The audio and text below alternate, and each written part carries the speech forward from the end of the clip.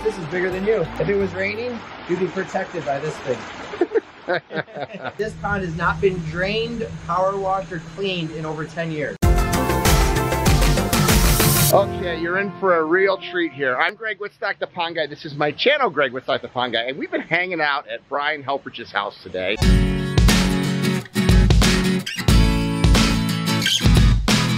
So, Brian, why don't you go ahead and give us a little tour of your backyard, which is pretty awesome. Originally, you know, the pond was designed, um, not knowing I was going to have three kids, a lot for Abby, with the idea that we'd have more kids, but a safety area. So I'll show you this Yep. area first. Yep. It was kind of like the kids' baby pool area. Yeah. Right, where the kid, they could walk down in here, touch the waterfall. I could flood this pit with just like closing off a valve, and it instantly turned into a 10 inch deep baby pool. Right, Um, as the kids have gotten older, this got boring, so they're always over on that side snorkeling and stuff. right. More importantly than it being the kids' swimming pool area, it's a 6,000 gallon rainwater harvesting system. So cool. So all the water from this gutter comes down through here, goes through our first flush. This pre-filters out the water. There's a big uh, micron net in there Yep. that takes all the shingle dust and the sand and everything else. Pre-filters the water, goes through a tube, and then comes out into the bottom of this. Right. Since then, this has evolved. The area shrunk down a little bit. The stairs used to be wider. Yeah. That urn wasn't there. That fire pit area wasn't there. hmm So, like all of our customers, like your imagination just keeps going and going and going, and you always want it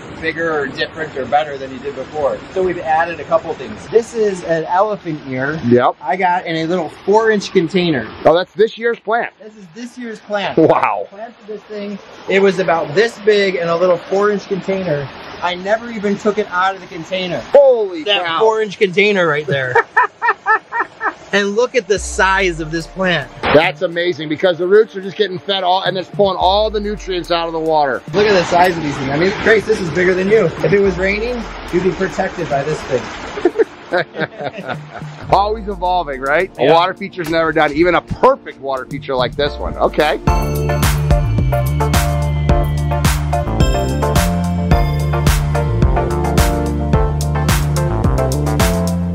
So this is the outdoor kitchen. The village had me put uh, a railing on here, and I think it was last year I felt like the kids were old enough that I didn't need the railing anymore. Yep. for the safety and opened up this line of sight, which I love a lot. My pond is no different than anybody else's pond, 100% designed from inside the house. Yes. My chair at the kitchen table is right here, Right. and that view is right in between the opening of the column and that refrigerator there. Totally cool. So actually, Brian, I wanted to talk to you a little bit about this falls right here. It's a different kind of moss that has you got growing on there. So I didn't plant that. So Uh-huh. Mother Nature decided one day that this plant should show up, and I believe it's called lungwort. And it just spreads and spreads. It was never over here. It was actually over on a waterfall over there, but then slowly started showing up here. If you look at it, you know, it almost it's almost like a little cabbage. You know, it's like yeah. Lungwort, huh?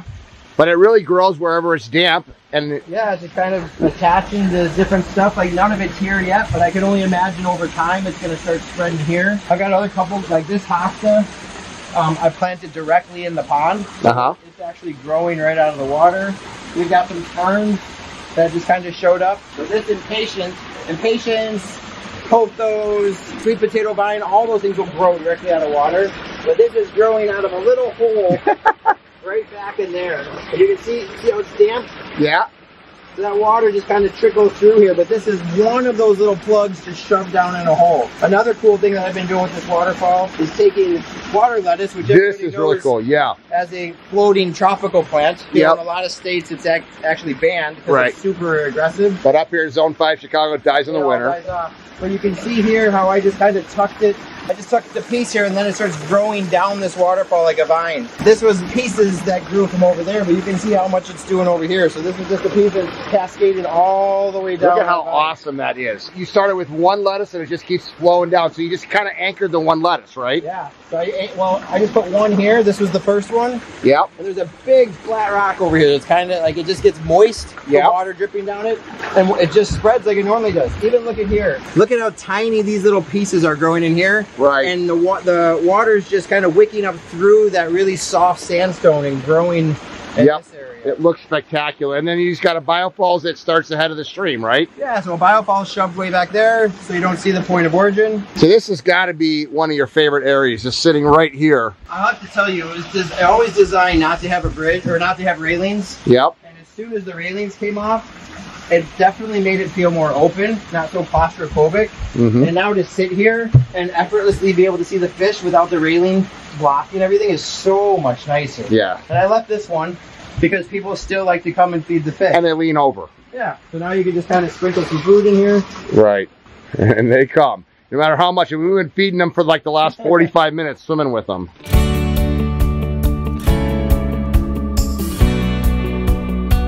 So just hijacked Greg's camera because I have to show you something, uh, a little cool trick we like to do on a lot of our projects. It's what we call a gravity feed or a secret waterfall.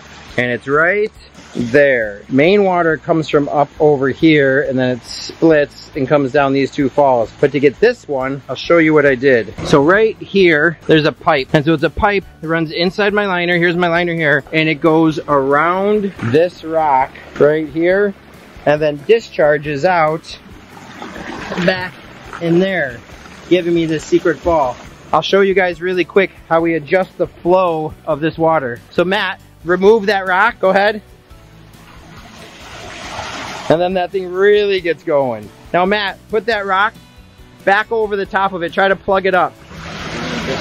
Pretty, pretty simple. There you go. Without using a ball valve or anything, we can adjust the flow just by adjusting that rock.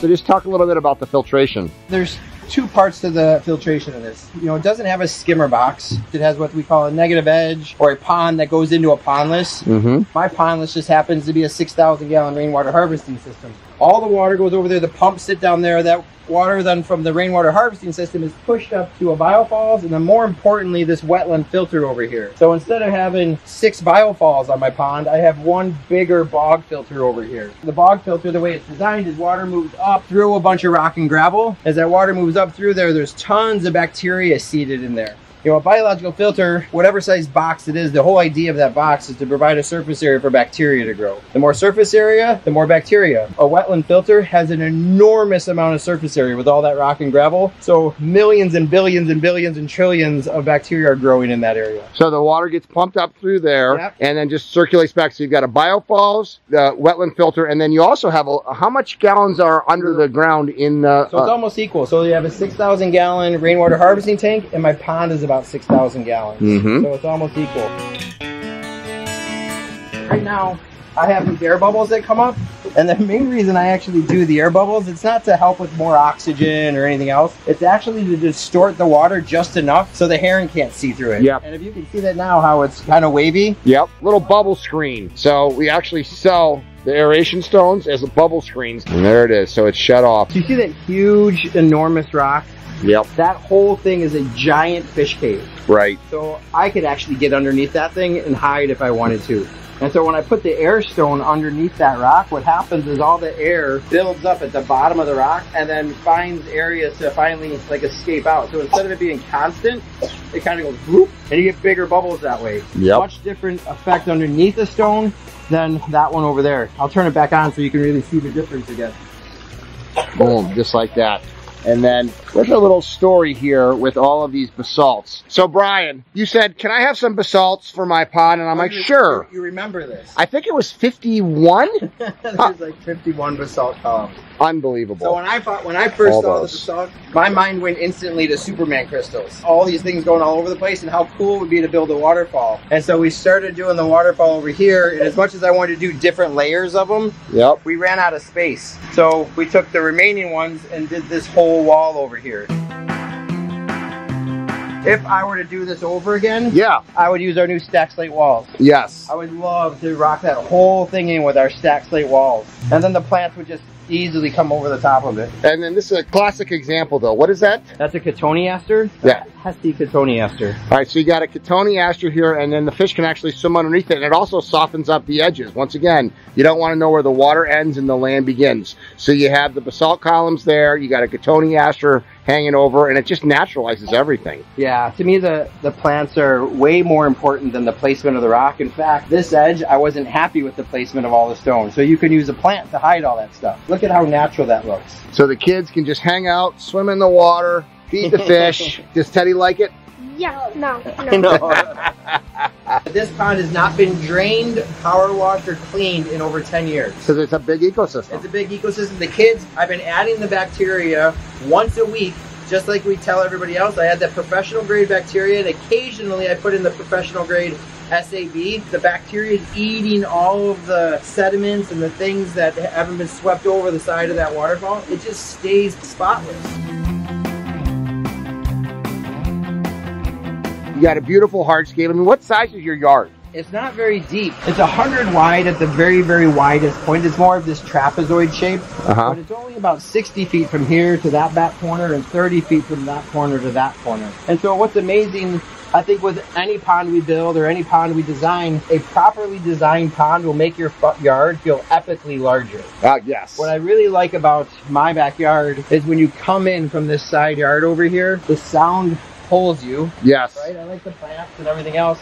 But all you see is this one waterfall, and people are blown away by this. But then if you look just past that waterfall, what are those water lilies? And is that other water splashing? And so it keeps pulling you farther and farther and farther. And as you move around the yard, you keep discovering more and more. And I love sitting in multiple areas. So having the one viewing area over there is really, really nice. Especially if it's raining, you can sit outside. But to sit down here, have an awesome fire, sit out here, the kids do s'mores, and, and I sit back and make sure they don't burn themselves. it truly is a spectacular property. And then just show, just for that, the, the little walkway that you've created out here, because Wow. it, it's changed over the years. you had said, hey, Brian, trust me, and you started creating a pathway back there, which I Yep. never thought of. Mm-hmm. So I just took the pathway and said, let's do a little bit more with it. I love so many different areas of Yeah. the yards. Total different feel back but here. Totally different feel. Now it feels like you're kind of in this enchanted forest. And at night, like there's little lights that kind of twinkle around in here.